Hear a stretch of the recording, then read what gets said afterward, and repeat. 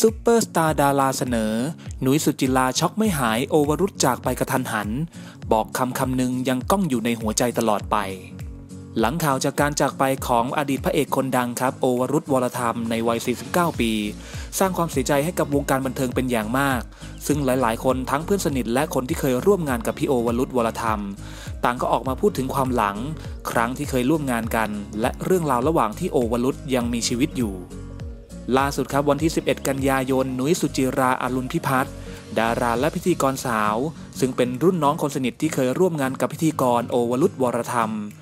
กล่าวถึงการจากไปของอดีตพระเอกคนดังว่า ทราบข่าวจากการเสียชีวิตของพี่โอตอนเช้า ตื่นมาตอนเช้าเห็นหนังสือพิมพ์วางอยู่พาดหัวว่าพี่โออาการไม่ค่อยดี อาการยังวิกฤตอยู่ ยังคิดในใจว่าเดี๋ยวคงจะดีขึ้น สักพักปอนสามี เดินมาบอกว่าพี่โอเสียชีวิตแล้วตอนตีสองกว่าๆ วินาทีนั้นตกใจมาก โดยความที่นุ้ยกับพี่โอทำงานด้วยกันมานาน แม้ช่วงที่ไม่ได้ทำงานด้วยกันแล้ว ก็ยังพอรู้ข่าวว่าพี่โอล้มบ้าง หรือเป็นนั่นเป็นนี่บ้าง แต่ว่าสุดท้ายก็ไม่เป็นอะไร ครั้งนี้ทราบข่าวตั้งแต่คืนวันอาทิตย์ว่าพี่โอวูบ แต่ก็คิดเช่นกันว่าคงไม่เป็นอะไร ถามต่อว่าพี่โอจากไปเร็วเกินไปไหมหนุ้ยกล่าวว่าพี่โอสู้กับร่างกายมาเยอะ พยายามดูแลประคับประคองสุขภาพตัวเองมาตลอด เขาคงเหนื่อยเหมือนกัน แต่พอจากไปแบบนี้ส่วนตัวคิดว่าเร็วเกินไป ก่อนหน้าที่วูบและชัก นุ้ยยังไม่รู้รายละเอียดอาการมาก จนมีข่าวว่าปั๊มหัวใจสองครั้ง และไตวายด้วยก็เริ่มใจไม่ดี แต่ในใจเชื่อว่าพี่โอยังไงต้องผ่านเรื่องนี้ไปได้ ตอนนั้น ภาวนาอยากให้พี่โอกลับมาหายดีเหมือนเดิม ผู้สื่อข่าวถามความผูกพันเมื่อครั้งที่ร่วมงานกัน นุ้ยสุจิลาเล่าว่าทำพิธีกรรายการสะบัดช่อด้วยกันมานาน พี่โอเปรียบเสมือนพี่ชายคนหนึ่งในวงการไปแล้ว เวลาทำงานพิธีกรต้องรู้ใจกัน บางวันอัดรายการตั้งแต่เช้ามืด พี่โอกับพี่โนเมธานี สอนอะไรเยอะมาก บางครั้งต้องไปทำงานต่างจังหวัด ก็นั่งรถตู้ไปปลุกพี่โอถึงบ้าน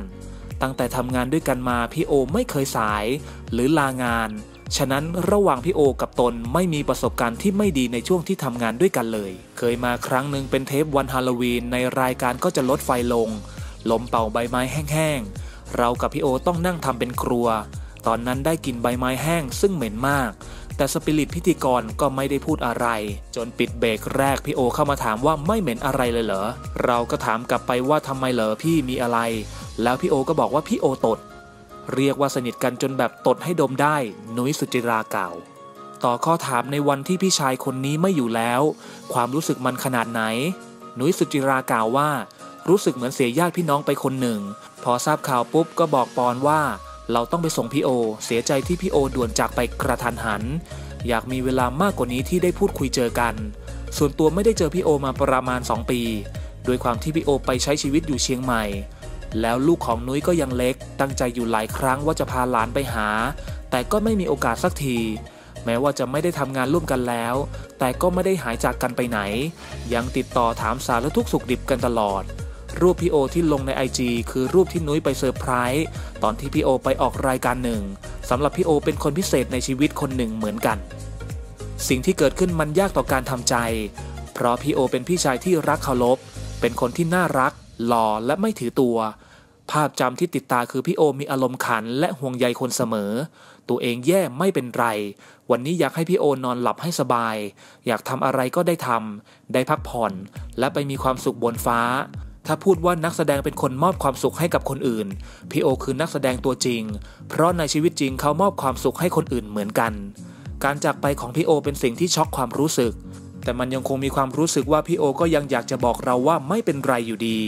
คำว่าช่างมันเถอะของพี่โอจะยังก้องในหัวใจของนุ้ยตลอดไป นุ้ยกล่าวด้วยน้ำเสียงสั่นเครือ และนี่ก็เป็นบทสัมภาษณ์ของนุ้ยสุจิราครับ ต่อการจากไปของอดีตพระเอกดัง โอวรุฒวรธรรมครับ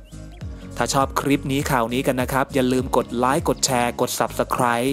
และอย่าลืมกดกระดิ่งติดตามซุปเปอร์สตาร์ดาราเพื่อที่คุณจะไม่ได้พลาดข่าวสารการอัปเดตของวงการบันเทิงครับ